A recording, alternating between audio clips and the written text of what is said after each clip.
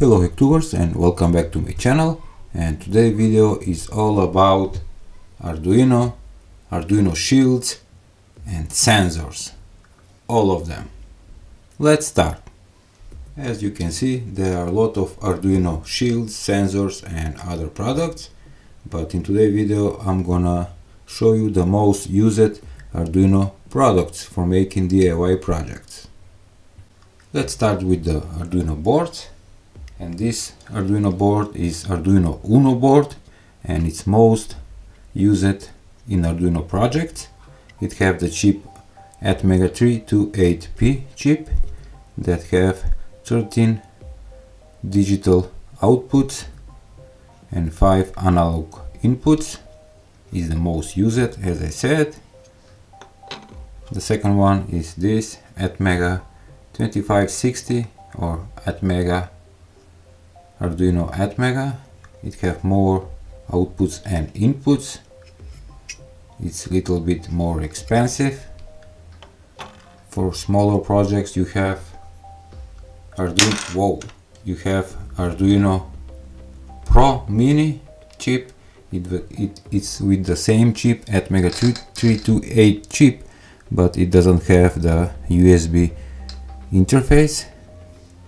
The second one from the smaller boards is the Arduino Nano chip. It have a USB interface with the same chip Atmega 328P and reset button 13 digital outputs and inputs plus 5 or 6 maybe analog inputs. This is also a good board. It's called ESP 8266 mod board good one. We have Arduino board like this one without soldering. You can make projects without soldering using a conductive thread. Okay. As we said because the Arduino Uno is the most used board there are many Arduino shields like this one. This is universal board that you can make your own project and solder the electronic components on the pins and attach it like this.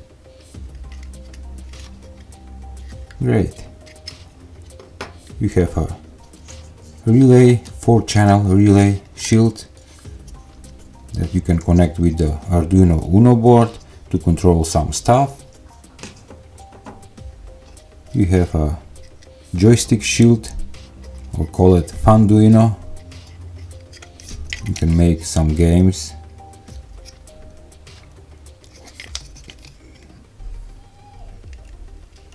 Okay. This shield have an analog joystick and four push switches. And my favorite and most used in my project is a LCD 16 by 2 characters shield with push switches that goes directly on the Arduino Uno board. Great.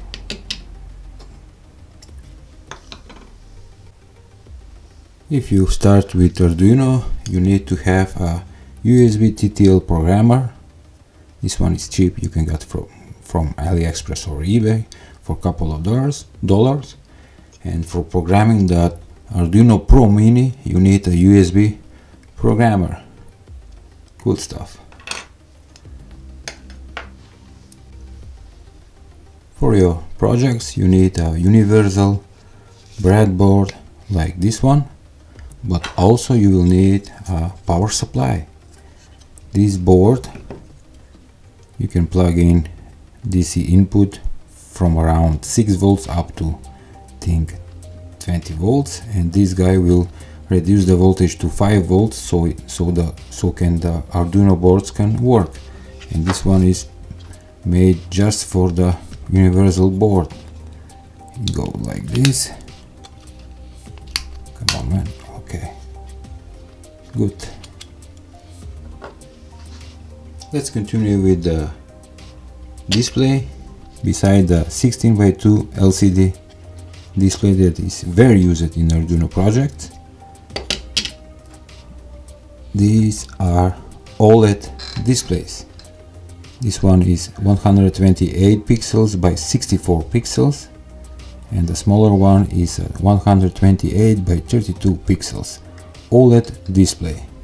I have made many projects with these displays. And check out this 8 by 8 LED dot matrix. Very cool. We have a 7 segment display with 4 digits and all controlled with the one chip and Arduino. Let's say if you want to make a security system you will need this Arduino keypad that have numbers and letters and you can directly connect to the Arduino board and also the sensor. This sensor is most used and it's called a PIR sensor. It have a three pins positive, negative and out. It's simple as that. With just two components and Arduino board you can make a security system. While we are here, this sensor is an infrared sensor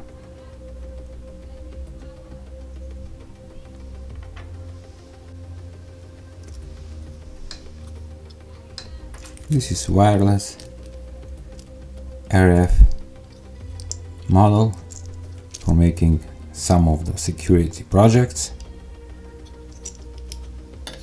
Also you can use ultrasonic sensor for detecting some movement like this one.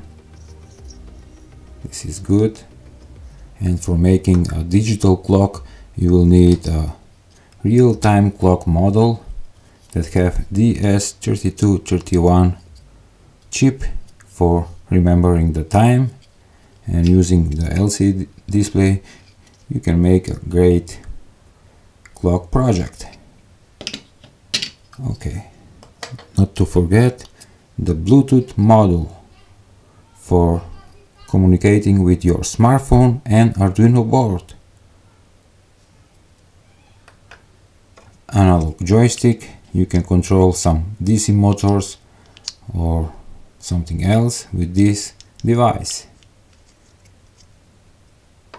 And if you want to make a rain detecting you will need this model to detect the rain connected to the Arduino and to be displayed on the display.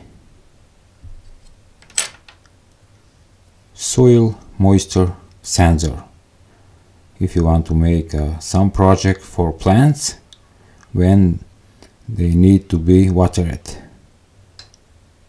Okay. And almost forget these two are gas sensors. I have also made a couple of projects with this the first one is MQ9 and the second one is MQ3 for detecting gas okay I hope you like today video demonstration of almost all Arduino gadgets, sensors and shields. Maybe in the future I will make more detailed video for all these Arduino products. Thank you for watching, give a like and share. See ya!